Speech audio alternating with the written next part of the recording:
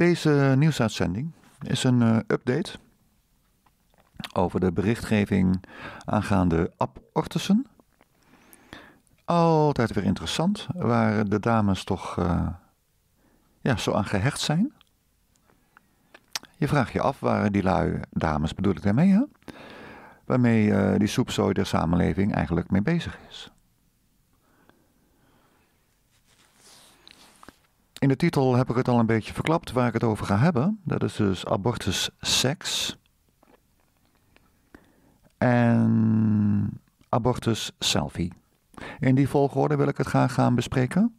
Want in die volgorde heb ik het via het internet ook leren kennen. Ik ging daar niet naar op zoek, natuurlijk. Want, en dat zal ik zo dadelijk duidelijk maken waarom. Maar ik houd niet van abortus. Ik vind het uh, barbaars. Ik durf zo ver te gaan dat een groepsverkrachting waarbij de vrouw in kwestie het er levend van afbrengt, minder erg is dan abortus.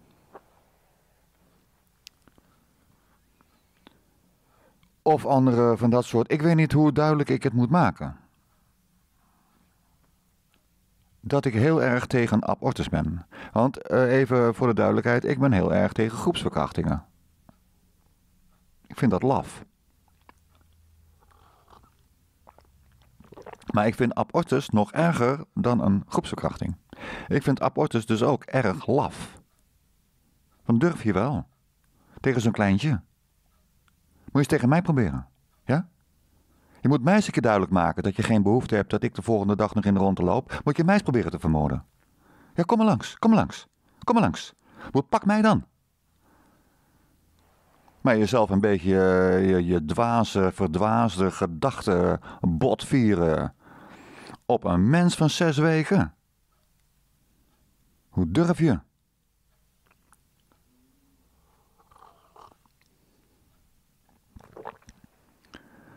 Ik heb het zelf uh, moeten. Ik kon zelf niet voorkomen dat mijn tweede kind vermoord is toen het 14 weken oud was.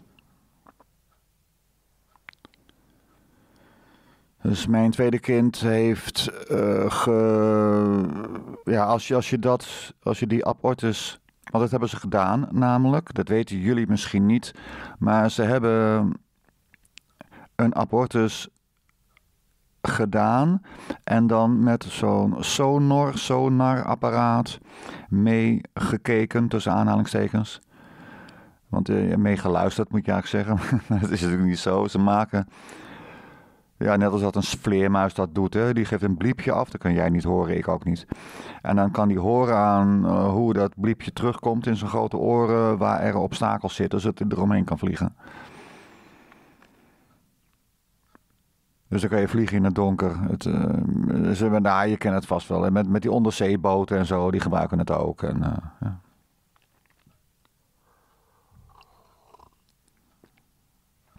Maar dan kan je dus meekijken met een abortus. Dat is maar een paar keer gebeurd, want die meekijkoperaties, uh, ja, de operaties voor het meekijken, de abortus is een moord. En dan zie je dus hoe zo'n mens, ook al is het nog maar zo klein, hoe die vecht voor zijn leven. Hoe die weg wil van die stofzuigerslang. Hoe die mens snapt dat er iets heel ergs aan het gebeuren is en dat die mens dat niet wil. Dus er wordt iemand eh, pijn gedaan. Dit zuig ik niet uit mijn duim. En ik garandeer je dat als jij denkt dat je zo'n filmpje gewoon kan aankijken met je droge ogen, ik garandeer je dat jij je vergist. En als jij mijn woord in twijfel trekt, jongen, je hoeft maar even een reactie te doen, dan ga ik voor jou op zoek naar het linkje. Ik vind dat zo. Als die vrouw van, uh, die heeft voormalig, was het een medewerker vroeger van Planned Parenthood. Leuke naam hè, voor zo'n organisatie. Gepland ouderschap. De belangrijkste functie die die mensen uitoefenen in de Amerikaanse maatschappij is het vermoorden van mensen in de buik. Dus het moet zijn, uh, ja, hoe noem je dat? Het voorkomen van ouderschap. Daar is die organisatie voor. Dus het plannen dat mensen geen kinderen ter wereld brengen. Planned Parenthood. Waarbij de planning erop aanstuurt dus dat je zo min mogelijk parenthood hebt. Ja, dit is, dit bloedserieus dit hoor. En het gaat bij mij dus nooit voorbij. Kijk, de verjaarstermijn voor een moord is 30 jaar. En ik neem aan dat daarbij rekening gehouden is met het feit dat het moeilijk te verwerken is voor iemand dat er een familielid is vermoord. En dat het, ik hoop dat jullie er alle begrippen voor hebben, dat het verwerken van zo'n moord. En dus ook het heengaan van zo iemand, dat dat moeilijker is als je niet gecondoleerd wordt als niemand je een schouderklop geeft. En als er ook geen uh, rouwplechtigheid is. Als je geen kaarten mag versturen. Als je niemand op de hoogte mag brengen. Nee, je hebt het maar te accepteren dat een kind van je wordt vermoord. En als jij nu zegt van ja, Piggy, dit vind ik rechtsgeouwe hoer, nou, dan vind ik jou een stomme trut. Ook al heb je een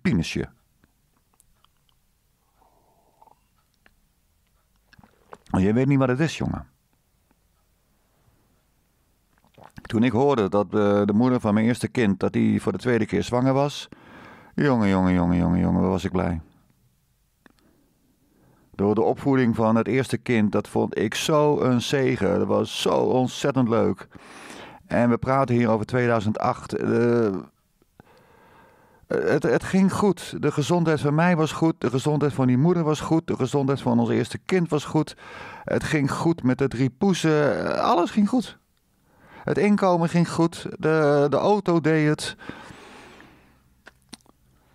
Uh, er was helemaal niks wat er niet goed was. Helemaal niks.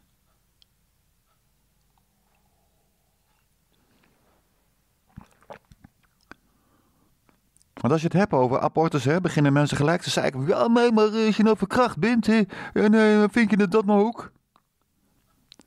Uh, zullen we daar een andere keer over hebben?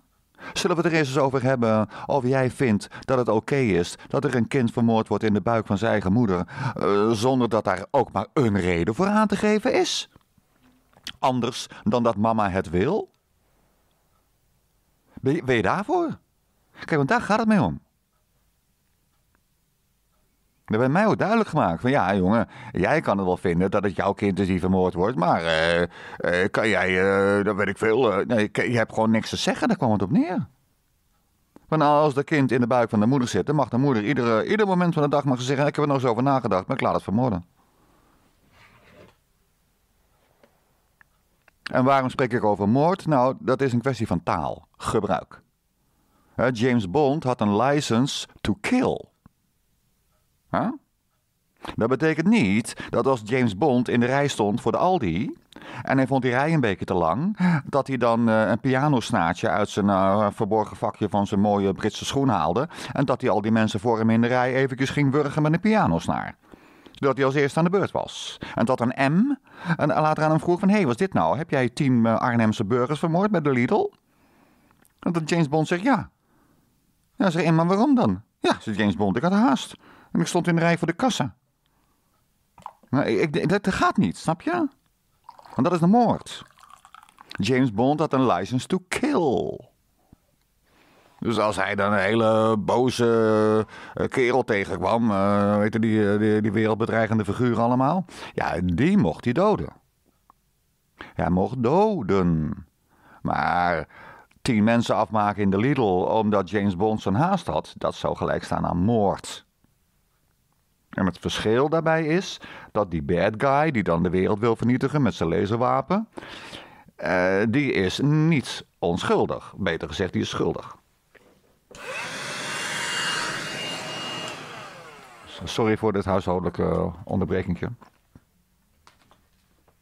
Ik heb zo'n uh, heel, heel treffend een, uh, een stofzuigertje hier. ik heb overlast van eh, hele rare kleine mugjes. Echt heel vervelend. En die groeien ergens in mijn, een van mijn planten. Dat is allemaal tot daar aan toe, maar... Dus ik, ja, ik heb ze op alle manieren proberen, maar het is een... Nou ja, goed. Ik zal het verder eh, niet meer de herrie maken, maar met zo'n zuigapparaat. En hier ben ik die beestjes aan het doden en niet aan het vermoorden. Of ik denk dat tuig wel niet dat een beetje mij de hele dag door mag weigeren. Pesten man. Dat is echt al weken bezig hoor. Dat is gewoon geen geintje. En ze zijn met zoveel. Je wordt er helemaal gek van. Kijk, doden en moorden, dat zijn twee verschillende dingen. Snap je? James Bond had een license to kill, niet een license to murder. Snap je? Nou, en abortus is dus niet het doden van een mens, nee, het is het vermoorden van een mens. Daar gaat het om.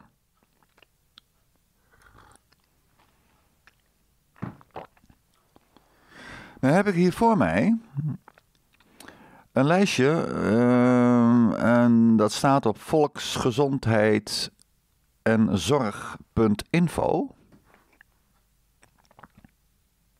schrijf je aan elkaar als één woord. Volksgezondheid en zorg, maar dan zonder spaties, streepjes, gewoon achter elkaar doortypen. Kun jij het ook vinden? Ranglijst doodsoorzaken op basis van sterfte. Nou, nummer 1 staat dementie. Dit vind ik een beetje een twijfelgevalletje.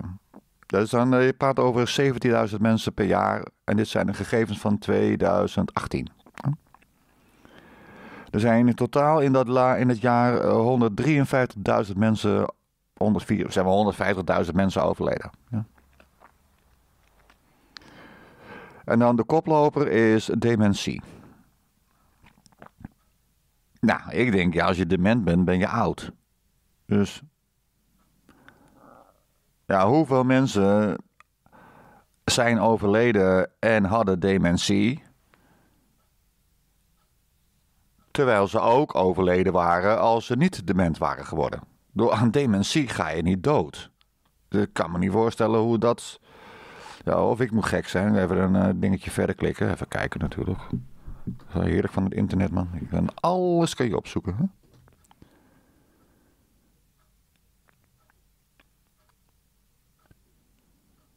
Even kijken, hoe ga je nou dood aan dementie?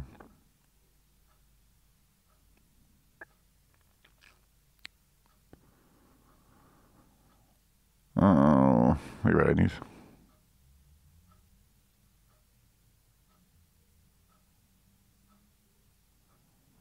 Ja, ik denk, ja, iedereen gaat wel een keertje dood. En ja, sommige mensen hebben dementie. Ja. Dementie houdt erin dat je korte termijn geheugen bijvoorbeeld aan de gort gaat. En uh, ja. Maar goed, dat zijn er 17.000 mensen per jaar. Dan is nummer twee, dat, zijn, dat is uh, longkanker. Met uh, eh, 10.000 mensen per jaar. Uh, nog een keer 10.000 mensen aan beroerte. Dan komen de hartziekten en hartfalen. Dat is ook nog erg. nou, dan heb je wel een beetje de top gehad. COPD, dat is ook nog eentje. Nou, dan beginnen dingen als uh, accidentele val. dat lijkt me ook heel vervelend. 4000 mensen per jaar. En heb je dus nog hartstilstand, dat is maar 2000 mensen per jaar. Dus vergeleken met die andere is dat nog minder. En de griep, ook nog 1200 mensen per jaar. Verkeersongevallen, uh, eh, 740 mensen per jaar. En daar hoor je toch veel over, hè? Oh, ja, op een grote geheel. Maar dan nu, uh, dood doordat je moeder het wilde en ze het mocht doen omdat je nog in de buik zat van haar. Dat is dus ook een doodsoorzaak. Ja? Je bent prima in leven. Uh, jij weet ook niet precies hoe het begonnen is, want daar was je niet bij. In die zin dat uh, die eicel, ja, die werd op, uh, gepenetreerd door de spermatozoïde. En toen begon jouw aanwezig zijn in deze wereld. En toen begon het. In één klap. eh, Letterlijk een klap. Ze hebben zo'n bevruchting. eh, Die, die doen ze ook in, in vitro. Dat betekent eh, in vitro, dat woord vitrine is daar ook geba- gebaseerd. Eh, Het betekent glas. Dus heb je in vitro fertilisatie en dan doen ze dus eicellen in een petrischaaltje en dan doen ze een kwakje bij. En dan gaan ze onder de ja, microscoop gaan ze dat helemaal volgen. Hè? En dan kunnen ze daar, daar hebben ze filmpjes van gemaakt. En Jurk Liesman heeft een keer zo'n filmpje aan mij gestuurd. En op dat filmpje kan je heel mooi zien dat een eicel op het moment dat die bevruchting van die eicel plaatsvindt. Eh, Dat, is, dat gaat heel snel. En dan, dan pats. En dan krijg je een soort pufje. En dan gaat die eicel in één keer. eh, Die scheidt zink. Het atoom zink. Dat is een, zink is een ijzer. Een metaal moet je zeggen. is een metaal. Hè? En dan. Ja, dat was jouw begin. Dat was mijn begin ook. Dat is het begin van een mens. Dan is de mens er. En alles wat ik nu ben, is het gevolg van wat ik was op dat moment. Inclusief het feit dat mijn ogen eh, ja, hebben een slechte kwaliteit. En, ja, mijn gebit is ook niet helemaal je dat. En, eh, nou, noem eens wat. Ik, ben, ik heb een blanke huid. Ik heb helemaal niet zoveel melanine. Eh, ik heb eh, echt geen aanleg tot obese. Dan gaan we even door. Dat lag allemaal al vast op dat ene moment. Hè? Dat ik begon. En mijn ouders waren toen 17. Dat is al een hele tijd geleden hoor.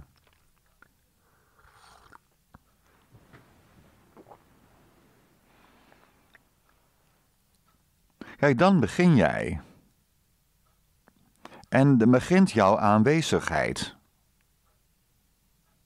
En je aanwezigheid, eh, die is dan later, als je groter, ja, als, zelfs als je net geboren bent, is je aanwezigheid heel moeilijk onder woorden te brengen door jou. Want je kan niet praten als baby. Je hebt wel een hele grote mond. En je kan de hele boel bij elkaar brullen, maar er komt geen woord verstandig Nederlands uit. Snap je? Dus je kan op dat moment je gedachten nog niet onder woorden brengen.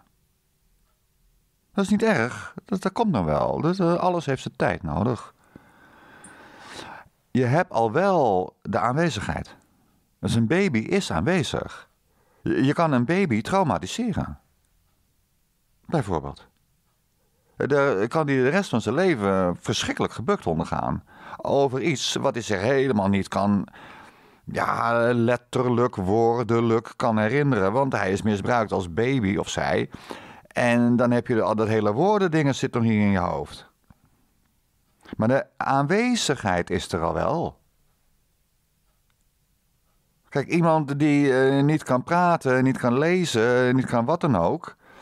eh, die kan wel reageren op eh, als je hem een, klap voor zijn kop geeft. Die zegt wel auw. Ook al heeft hij nog geen Nederlands geleerd. Dus dan zegt hij toch auw. Dat is de aanwezigheid. En die aanwezigheid, die, die aanwezigheid, die begint al met de bevruchting van die eicel. En dan is die heel, ja, dat is minder, uh, minder, uh, ja, in elk geval minder verwoord natuurlijk, want helemaal niet verwoord. Het is denk ik een aanwezigheid die ook veel meer in grote lijnen is. Ik ben uh, nu, maar jij ook. Hè? Wij zijn heel erg aanwezig en dat, kan ook heel erg beïnvloed worden. En we zien iets op internet, denken wow. Uh, of er wordt een plotseling aangebeld. Ik wow, nee, wie kan dat zijn? en en ja, zo'n bevruchte eicel, die, die zit veel meer op een soort van golf. Maar dan wordt al de, dan begint al de herinnering. Ja. Aan, dan begint al de opbouw van je. van wat je later zal noemen eh, je geheugen. Van je, je hersencapaciteit, van je intellect, van je IQ.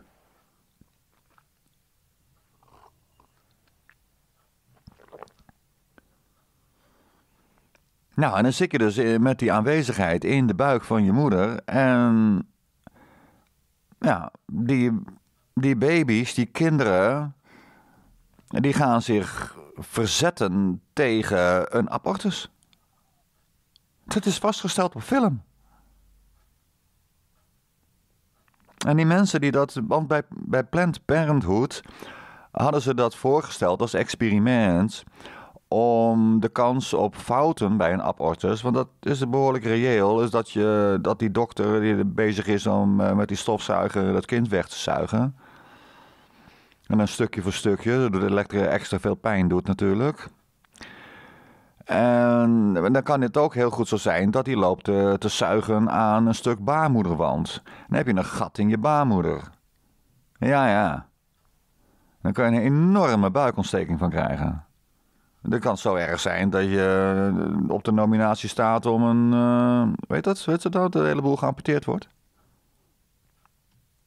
Een hysterectomie.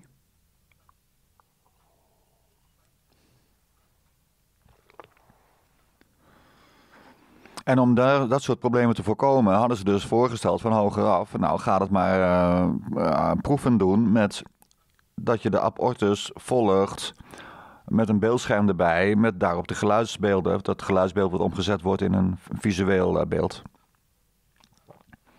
Dan kan je zien wat je doet als aborterende arts. Nou, daar zijn ze als de sodemieter mee gestopt. Want die artsen die zagen dan wat ze aan het doen waren en hun assistenten zagen dat ook. En die kregen daar grote problemen mee. Dus iedereen die participeerde in het experiment, die zei na eh, drie keer of zo, eh, ik, ik doe het niet meer. En ik doe het ook niet meer zonder camera erbij, namelijk ik doe het niet meer. Ik heb nu gezien wat ik doe als ik een abortus pleeg. En nu ik me daarvan bewust ben, omdat ik het gezien heb met mijn eigen ogen, Zien is geloven, zeggen ze wel eens. Ja, nou doe ik het niet meer. Ik kan dat niet meer. Die mensen die zijn andere werk gaan zoeken. Ja, besef het even goed. Ik vroeg ook aan de moeder van mijn kind toen ze klaar was met het akkefietje en ik sprak haar s'avonds weer, vroeg ik aan haar van is het kind van tevoren verdoofd? Dat lijkt me wel. Als je door een mens in stukken gaat scheuren. het minste wat je kan doen is dat je eh, het vol spuit met uh, heroïne en morfine.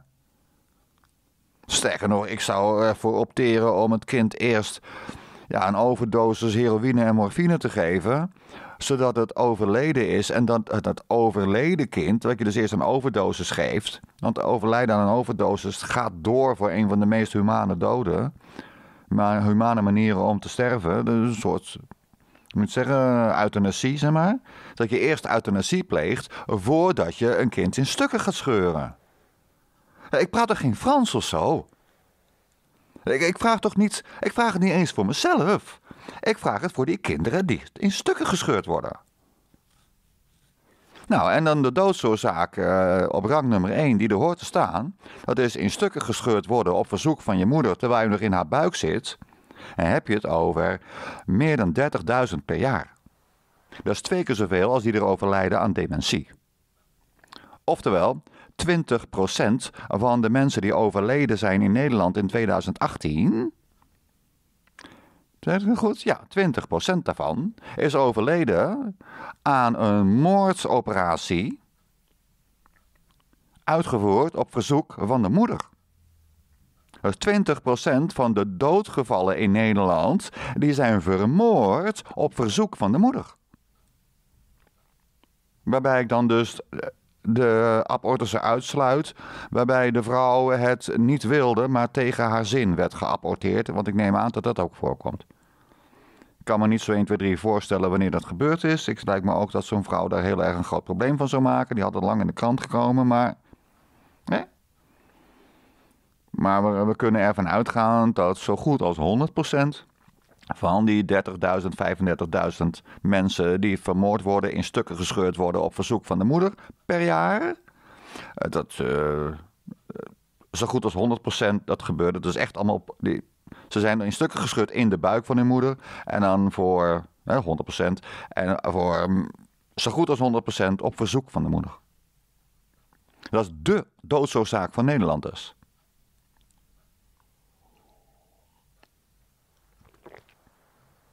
En dan zijn er mensen en die zeggen van nou ja, ik vind het wel goed hoor, ze hebben overbevolking. Dan denk ik van nou, uh, waarom moet je nou die hele kwetsbare groep van die kinderen in de buik moet je aanpakken?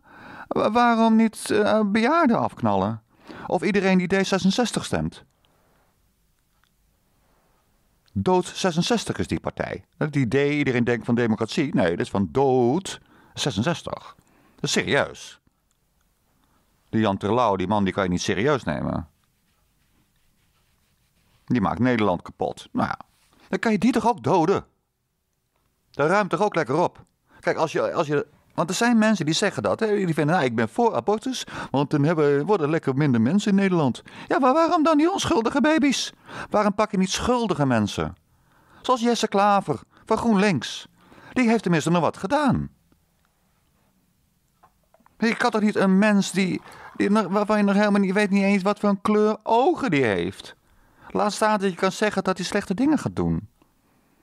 Door het feit dat de mensen zich zo gaan misdragen als Jan Terlouw en Jesse Klaver, dat wil niet zeggen dat ieder kind, eh, ieder mens dat verblijft in de buik van een moeder, allemaal zal opgroeien voor galg en rat en dan ook lid wordt van D66 of GroenLinks.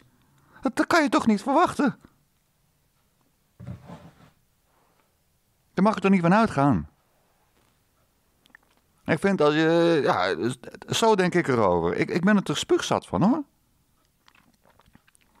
20% van de mensen die overlijden in Nederland overlijden doordat ze in stukken gescheurd worden op verzoek van haar moeder. Of zijn moeder. Op verzoek van de moeder. 20%.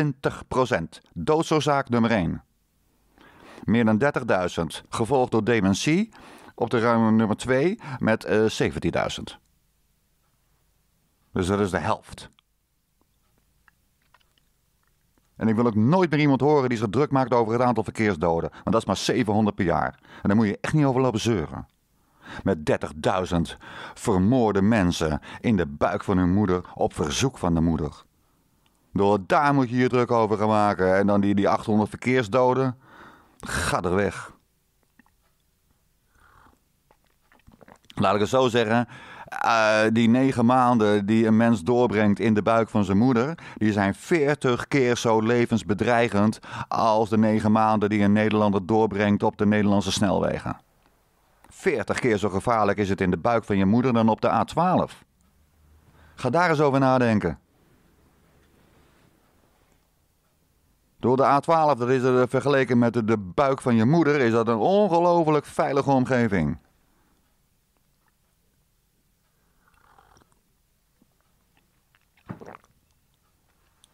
Nou, waarom ik dus uh, hierop kwam. Het was dat ik. Uh, eerst zag ik op internet, zonder dat ik daarom vroeg. een artikel op Prison Planet. En dat ging over stellen. Waarbij de vrouw het opwindend vond om seks te hebben zonder voorbehoedsmiddelen. En dat ze daar dus echt zwanger van kon worden. En dan liet ze. Nou, dan was ze dus zwanger. En als ze dan één keer zwanger was, ging ze dan door met die seks. Ze werd er gewoon geil van. Werd geil van het feit dat zij een.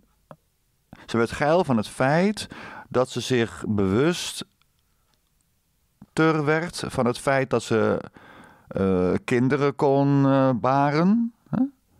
Ze werd heel erg geconfronteerd met haar vrouwelijkheid. En daarom wilde ze dan seks zonder voorboedsmiddelen. En daar werd ze dus echt geiler van. En de orgasmes werden intenser. Dat zei ze erbij, hè? Orgasmes werden veel intenser. En ja, kortom, de seks was beter als je kon weten dat je er zwanger van zou worden. Nou, en als ze dan zwanger werd, dan was het helemaal halleluja. Dan gaan we nog meer uh, seks, seks, seks, seks, seks. Oh, wat is het toch lekker, die seks? En dan zo lang mogelijk uitstellen. Dat hoorde er ook bij. Zodat je dan echt een, een buikje kreeg. En dan op het aller, aller, allerlaatste moment. En dat ligt er dan aan in welke staat je woonde van Amerika.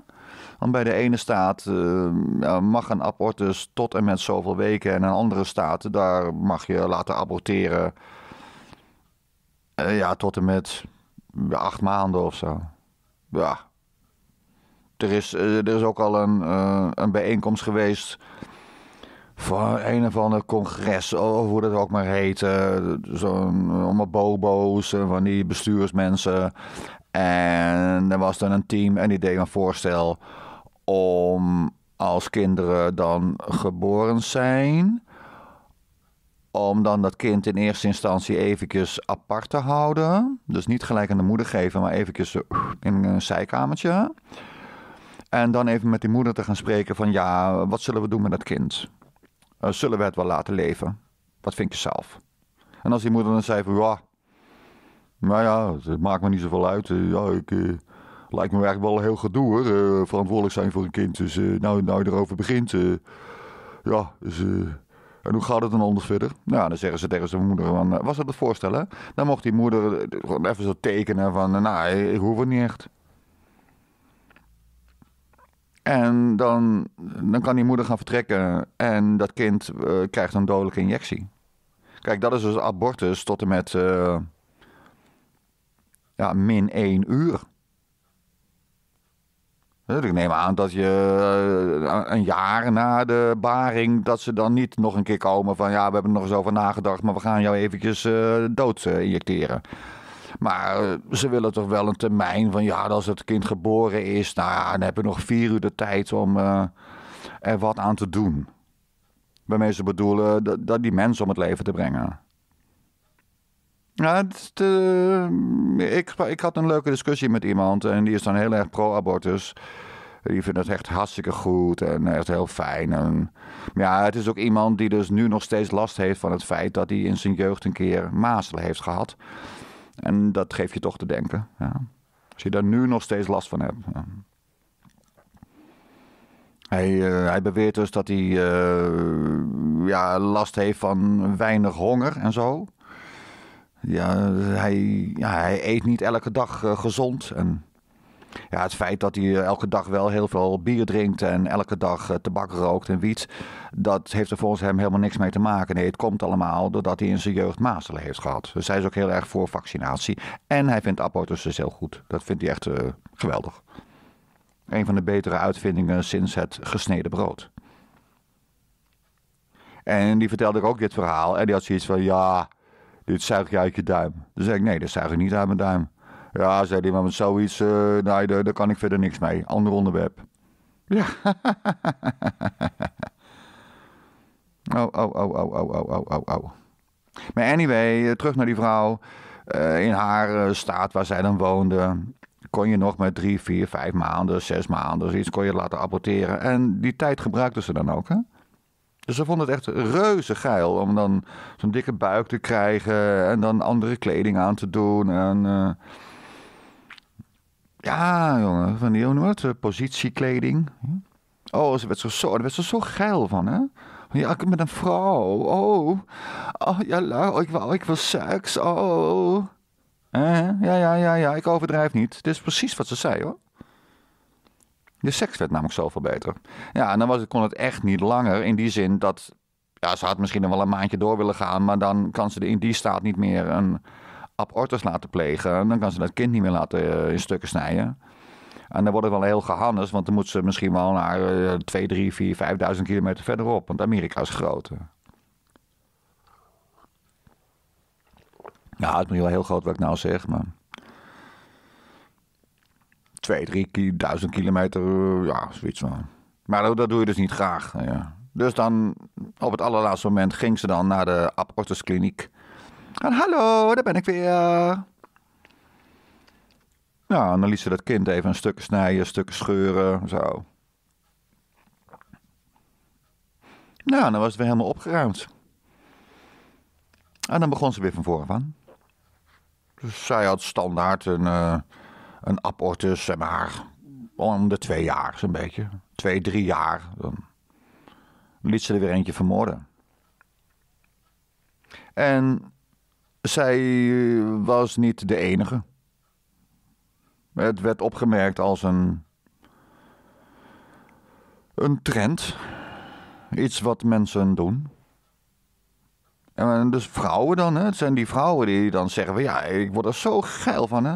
Om seks te hebben terwijl ik zwanger geworden. Nou, oh, oh, oh, oh, ja, oh. En dan dus ook echt zwanger worden en dan lekker doorgaan met die seks. En dan worden ze nog geiler. En, nou, en als het dan echt niet langer kan, omdat je anders niet meer in de eigen state eh, zo'n dingetje kan laten doen. Ja, dan moeten we maar naar de abortuskliniek. Ja, en dan wordt zo'n foetus, uh, mens, uh, kind, er wordt een stukken gesneden, stukken gescheurd en beginnen we weer overnieuw. Dat, vond, dat vindt zij, die vrouw in kwestie, die had er ook helemaal geen morele vraag bij.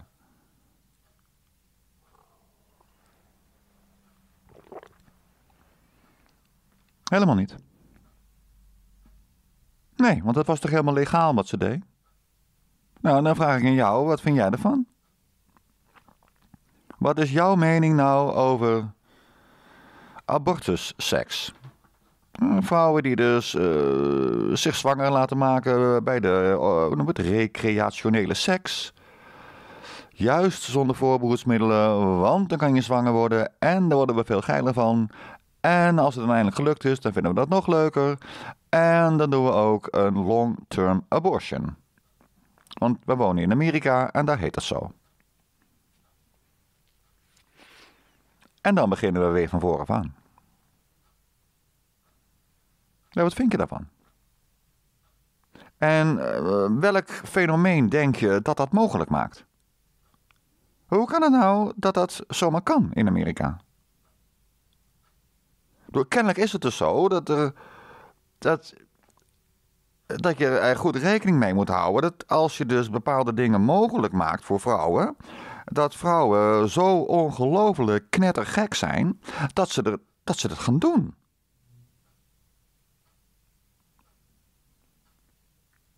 Snap je?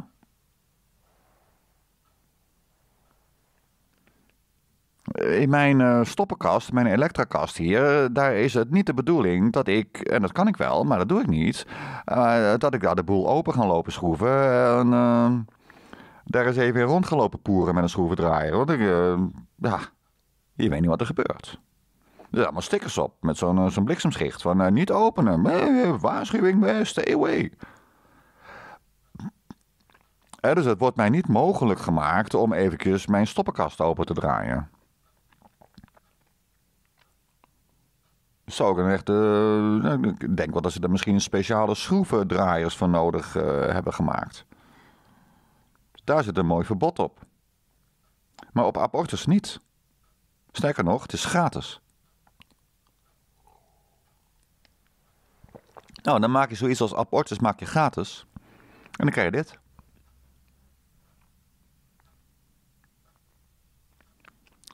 Ik uh, laat even een pauze vallen. Dan mag jij er zelf over gaan nadenken wat jij er nou van vindt. Ik vind het stuitend. Even een typisch voorbeeld van het feit dat ik dus gelijk heb. Namelijk eh, dat je als mens je moraal dient te gronden. En vervolgens, nadat je je moraal gegrond hebt, dat je je ook houdt aan die moraal. Zoals bijvoorbeeld geen seks buiten het huwelijk.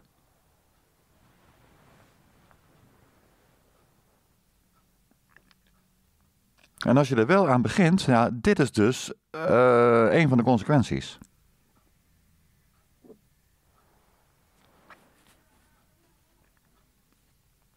En ik blijf erbij dat zoiets als moord, dat heeft een ernstig invloed op je karma. En ik gebruik nu het woord karma, want ik kan ook zeggen uh, dat het een gruwel is in de ogen van God. Maar dan gaan jullie weer zeggen: ja, dan komt hij weer met zijn Bijbel hoor. Ja, snap je? Daarom zeg ik maar even karma, want dat spreekt jullie wat meer aan. Mag ik hopen. Oh ja, karma, dat uh, ken ik wel je. Ja, dat komt op je karma. Dat komt op het karma van die vrouw. Die dus, die heeft ten, toen ik het artikel las, een interview met haar, had ze al, weet ik veel, had ze acht abortus achter de rug of zo. Ja, dat is acht mensen laten vermoorden.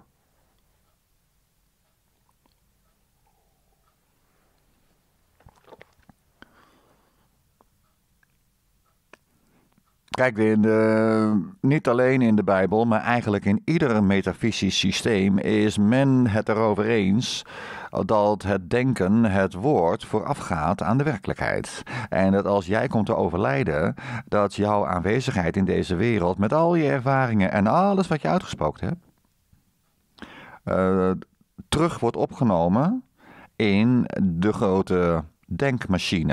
Laat ik het zo maar zeggen. De denkpap.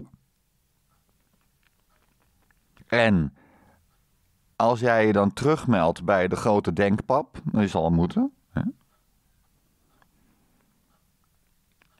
Ja, vinden ze de, zijn ze dan blij met jou? Of uh, denkt de denkpap, ah, daar is die moordenaar. Want die denkpap, die weet alles omdat jij namelijk na je overlijden, als je lichaam overleden is, dan kan jij niet meer liegen. Dus dat kind in je buik, wat jij hebt laten vermoorden, eh, die is ook die gang gegaan. En dit kind was onschuldig, dus die is opgenomen in de denkpap. Met liefde en warmte. Mag ik aannemen. Maar die is wel verdrietig. Maar die heeft een troost gevonden, mag ik hopen.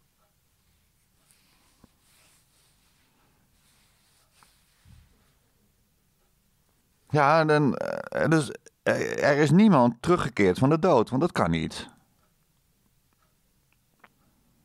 Besef je even wat je te wachten zou staan. Wat je te wachten zou kunnen staan. Kijk, de gedachte dat je bij leven kan uitvreten wat je wil en dat het geen enkele consequentie heeft, die kan je terzijde schuiven.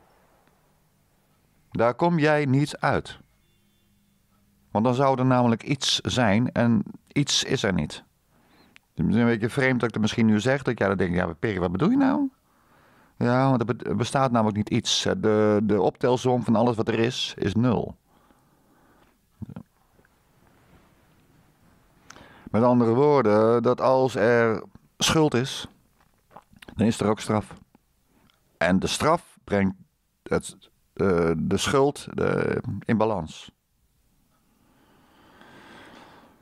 Daarvoor is het zo belangrijk dat wij het verhaal kennen van onze Heer, die voor onze zonden gestorven is aan het kruis. En door Hem vinden wij verlossing.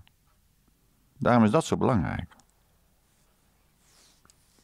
En voor de rest, als jij dat niet accepteert, ja, dan moet je dus persoonlijk gaan betalen voor alles wat jij uitgefroten hebt. En als je daar akkefietjes tussen hebt zitten, alla het vermoorden van een ongeboren kind, alleen maar omdat je het kon. Is een liedje van Skunk Anansi. Zo'n Britse band was het toch? Just because it feels good doesn't make it right.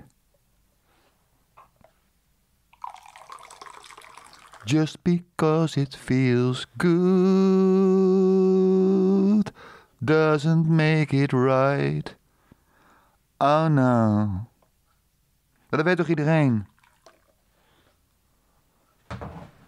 Nou, en die andere dame, die was van de abortus selfie. Die had een... Ja, die had dus onveilige seks gehad was zwanger geworden, had er verder helemaal geen enkel probleem mee. En die is uh, met haar bolle buik naar de abortuskliniek gegaan en gedacht van kom, daar maken we eens even een leuk filmpje van. En die is zichzelf gaan lopen filmen. En er was ook, nou, of ze heeft iemand meegenomen die uh, wel even zo meefilmen. Ze heeft denk ik niet alles zelf gedaan. En ze heeft er ook leuk in geknipt. Oh, ze heeft aandacht aan besteed hoor. En sommige dingetje, dingetjes, uh, had ze een soort van monoloog. En daar hebben ze dan drie keer in geknipt. Dus kennelijk was het, liep dat, dat monoloog niet zo lekker. Ik knip zelf nooit in mijn monologen. Maar daar was echt dus in geknipt om het, uh, moet ik zeggen, ja, een beetje makkelijk te, ja, goed te consumeren. Niet te moeilijk en zo. Een beetje afwisselend, een beetje tempo erin. Hè? Echt gericht op de hedendaagse mens die zo'n haastig bestaan heeft. En toch eventjes wil weten hoe het nou is om er een abortus te ondergaan. En de boodschap is, nou, een abortus ondergaan, het is geweldig. Het, ze vond het ontzagwekkend. Wauw. Zo, zei ze, ik werd me zo bewust van het feit dat ik kinderen kan maken. Want ik heb er nu eentje. De, laatste, ik was me zo bewust van het feit dat ik kinderen kan maken door die abortus. Dat ze zich er heel bewust van. Dat was op dat moment dus. Het was awe dat ze voelde. Ontzag is dat. Ze vond het awesome. Ontzagwekkend. Het was uh, ja, uh, vibrerend.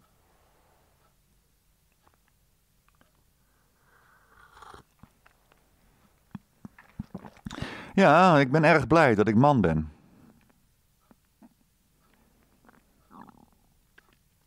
Dat ik kan zeggen, um, nou, dit zijn typisch dingen die vrouwen zouden zeggen. Zo, zo stupide. Uh, ja, dat zie je alleen bij vrouwen. Ik weet niet of het waar is hoor, maar ik kan het zeggen. Want het ging in dit geval om twee vrouwen, die abortus seks dame en dit is dan de abortus selfie dame. Dus er heerlijk bewust werd van het feit dat ze een kind kon maken. Uh, toen ze op haar verzoek bezig waren om dat kind wat zij gemaakt had te vermoorden.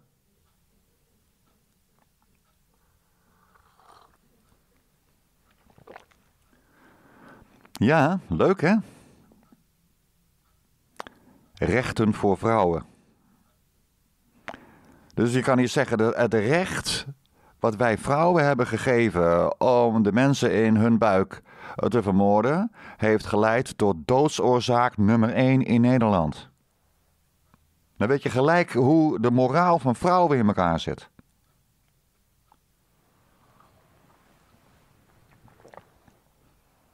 Ik denk dat. Uh, kijk, ik denk dat wij toe moeten naar een maatschappij waarbij we Adam en Eva voorbij zijn en dat een man en een vrouw als gelijken door het universum kunnen reizen, op deze wereld kunnen verblijven.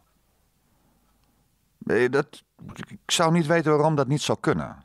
Maar als wij vrouwen hebben eh, die het vermoorden van een kind onzagwekkend vinden. In de zin van, wauw, wat een ervaring. Of vrouwen die zeggen, ik vind het zo lekker om seks te hebben waar ik zwanger van kan worden.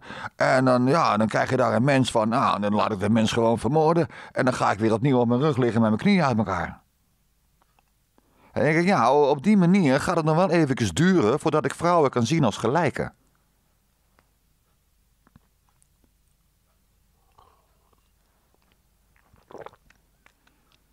Ja, ik laat even een pauze vallen.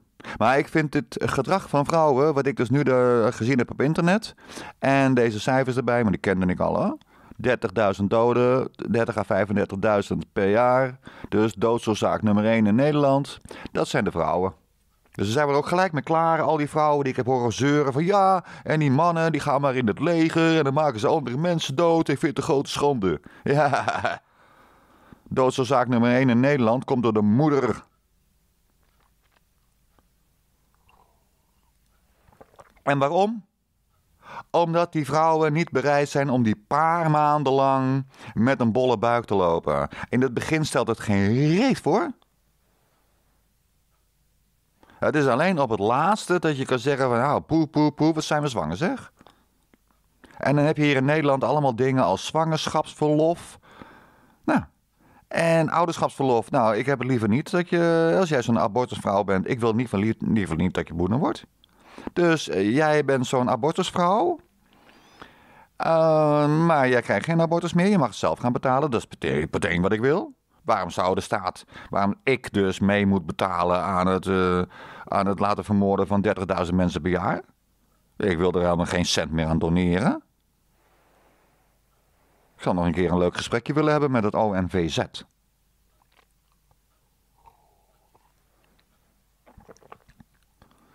Daar ben ik bij verzekerd namelijk.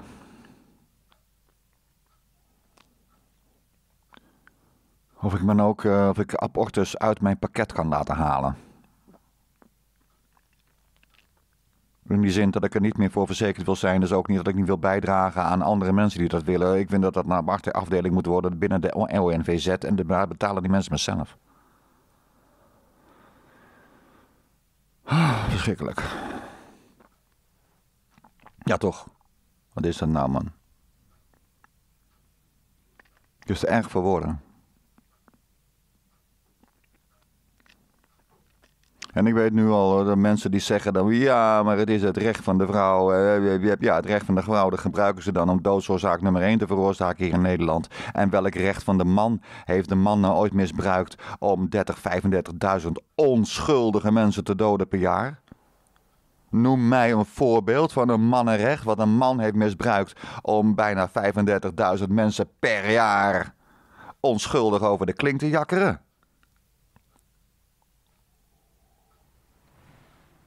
Maar goed, uh, je bent zwanger. Het is je eigen stomme vagina schuld. Laten we daarover eens zijn. Die vrouwen die beweren allemaal dat ze baas in eigen buik willen zijn. Nou, mooi zo, dan ben je vanaf nu verantwoordelijk voor, voor jouw eigen buik. Jij bent zwanger geraakt, dat is jouw verantwoordelijkheid. Niet komen zeuren bij mij. En punt 2, je bent zwanger geraakt. Nou ja, we willen, dan zijn twee mogelijkheden. Of je bent uh, in de zevende hemel, want je hebt een hele fijne vriend en je hebt geen groot huisje, maar wel een leuk appartementje. En ja, je wil zo graag voor zo'n kleintje gaan zorgen. Nou, dan is er niks aan de hand. Maar je bent zo'n moeder die denkt, nou ja, ik weet eigenlijk niet. Mooi zo, maar geen ouderschapsgebeuren. Je gaat uitdragen, baren en doei.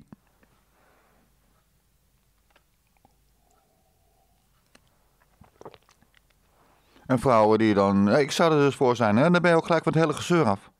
Hoeveel vrouwen niet zeggen van, ja, ik heb er geen zin in hoor. Want er is een kind, dat, nou, dan moet je dan uh, luiers verschonen. Nou, heb ik geen zin in hoor. En moet je ook de borst geven. Nou, dat heb ik ook. Nee, dan moet naar de, naar de kleuterschool en dan nanemen. En, en, en, oh, en dan moeten ze op zwemles. En, oh, en dan moeten ze leren fietsen. Oh, nee.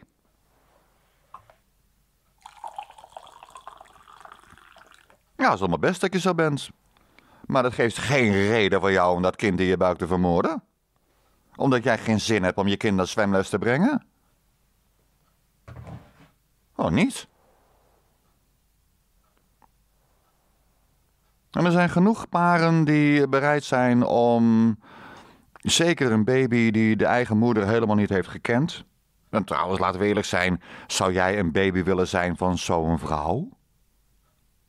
Zou jij onder de verantwoordelijkheid willen vallen van een vrouw die het mogelijk overwogen heeft om jou te laten vermoorden toen jij nog in de buik zat? Ik denk dat jij hard weg zou willen gillen, uh, hard, hard gillend weg zou willen hollen. Dus je wil eigenlijk helemaal geen contact tussen zo'n soort moeder en haar kroost. Dus er gewoon geen contact. Nou, dan heb je zo'n baby en die heeft de eigen moeder helemaal nooit gezien. De eerste vrouw die, die, uh, waardoor die in de handen werd gehouden, in de armen werd gehouden op een liefdevolle manier, dat was Toos van den Berg. Of Hendrika van der Sluis.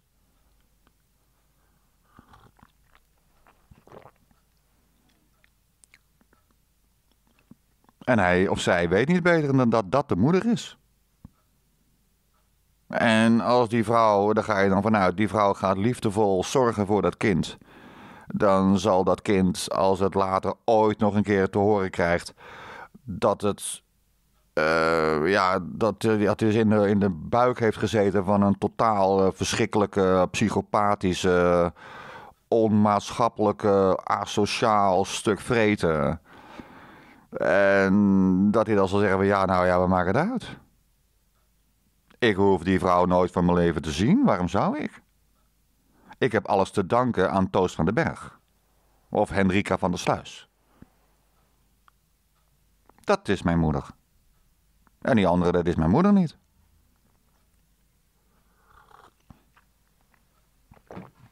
De weg die we nu zijn ingeslagen, eh, wij ontaarden. Je, dat hebben we goed beseft. Je krijgt een ontaarde, we hebben een ontaarde maatschappij. En dan heb je dit soort dingen. Hey, dank u wel, alstublieft. En toen ik dus tegen aan de moeder van mijn kind die avond dat zij het had laten doen, hè, vroeg ik eens aan haar van, is ons kind van tevoren wel verdoofd?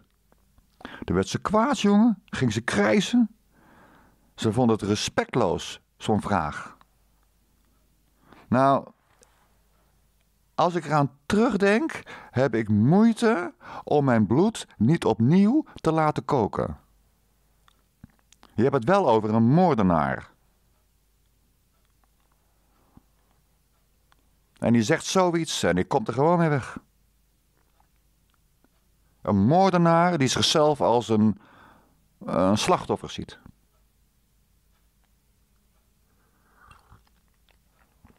Godspee. Godspe is dat.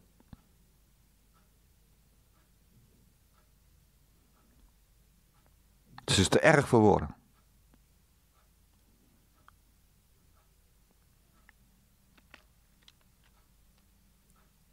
Ik ga er steeds meer, ik in de discussies met mijn kind, die, die waren echt wel leuk. Die is nou 19, die is feministisch, die is links en... Uh, nou, en de laatste keer hadden we het onder andere over vrouwenstemrecht. Ja, ja. Toen heb ik haar gezegd, nou, een beetje maatschappij, uh, die, die kan dat niet betalen.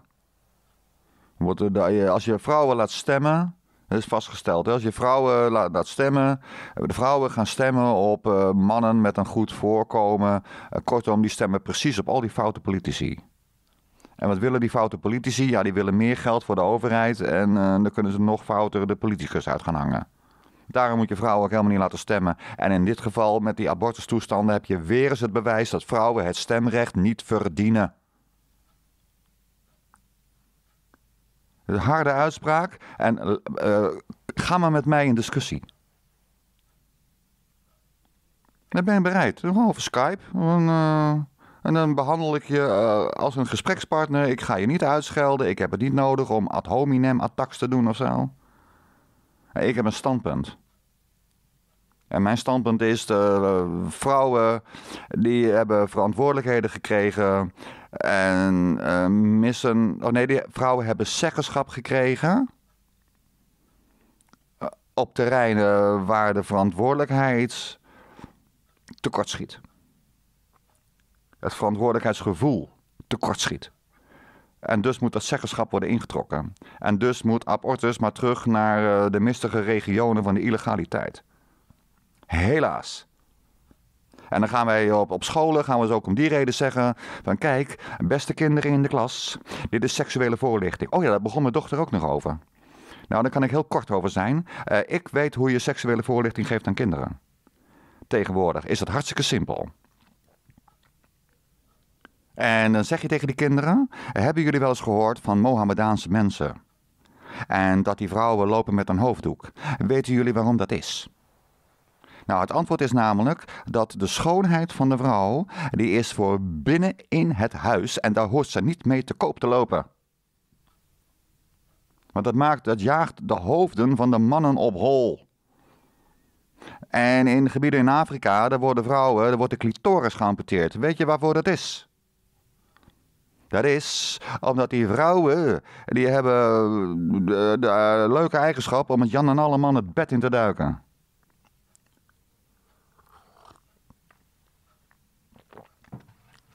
En waarom is dat een gruwel in de ogen van Allah en in de ogen van de Heere Heren? Het zijn twee verschillende geloofssystemen. Het zijn wel de twee grote geloofssystemen hier in Nederland. Maar in die, in dat optiek, in die optiek, vanuit dat gezichtspunt, is het naar bed gaan met Jan en alle man is een gruwel. Nou, reden 1 is natuurlijk geslachtsziektes. En reden 2 is, je hoort niet iets te doen wat zo heilig is als het krijgen van kinderen, om dat te doen voor de recreatie. Dat is net zo slecht als recreatief eten. Je ziet heel veel mensen in de rond te lopen, eh, die zijn veel, veel te dik. Ja, dat komt omdat ze recreatief hebben gegeten. Ze hebben niet gegeten omdat ze honger hadden. Nee, ze hebben gegeten om een of andere lust uh, te bevredigen.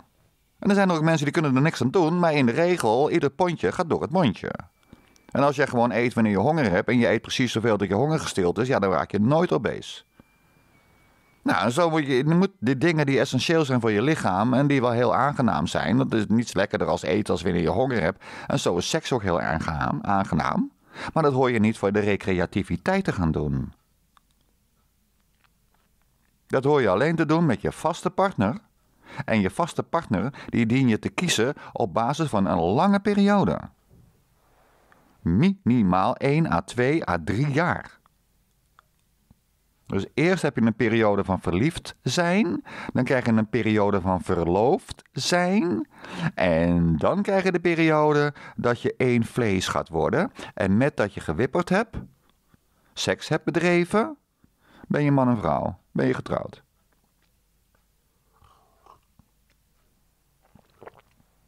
Nou, en vroeger was het de bedoeling, of was het de gebruik om dan uh, voordat je seks ging hebben en daarmee dus het huwelijk uh, consumeerde, zo werd het ook genoemd. Dus je was pas getrouwd als je seks had gehad. Dat maakte je man en vrouw. En ja, nou, je kan nu ook zeggen dat je, je hebt die periode van verliefdheid, dan heb je die periode van verloofd zijn. verloofd, eh, verloofd zijn zit al een belofte. Dan kan je ook een ring kan je gaan dragen, allebei, als je dat wil. Nou, dan heb je in die periode van verliefd zijn en verloofd zijn... heb je al uitwisseling gehad met contacten met familieleden... en heb je een begrafenis samen bijgewoond... en heb je ook een keer uh, vakantie gehad... en die vakantie, ene vakantie helemaal in het water gevallen... en uh, je hebt van alles al meegemaakt. Je denkt, ja, dit is mijn partner. Nou, en dan komt het moment waarop je elkaar in de ogen kijkt... en dan zeg je, nou, zullen we het gaan doen? En dan ben jij getrouwd met je partner. Want je hebt het gedaan. En wat mij betreft mag je het gaan doen en dan ga je achteraf uh, uh, tegen de familie zeggen van nou, we, we, hebben het gedaan en we zijn getrouwd. En dan geven we een knalfeest. Waarom niet? Je hoeft het voor mij niet per se van tevoren te doen. Dat je eerst een feest geeft en dan ga je wipperen. Nou, je mag het ook omdraaien. Maar het is wel zo, degene waar je mee wippert, waar jij je maagdelijkheid als vrouw aan verliest, dat dient je man te zijn. En dan kan je zeggen, ja, maar dit is saai. Ja, nou, dat is een heel goed uitgangspunt als het merendeel der vrouwen dit gaat doen. Dat bespaart een ongelofelijke hoop slecht karma. Ja? Nou, laat het maar even op je inzinken. Uh, reageer erop. Je mag zeggen wat je wil. En ik zeg tegen jullie op zijn hamburgers. Tjus. En dag lieverds. Denk om de kinderen.